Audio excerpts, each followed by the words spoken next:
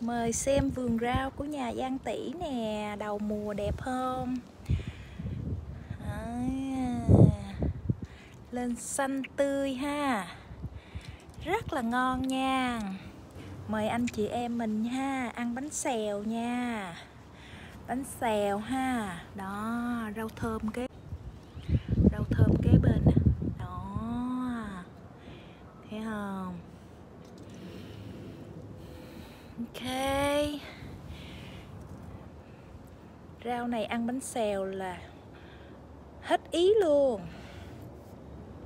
Ok, bye bye. Cắt vô rồi đổ bánh xèo ăn ha.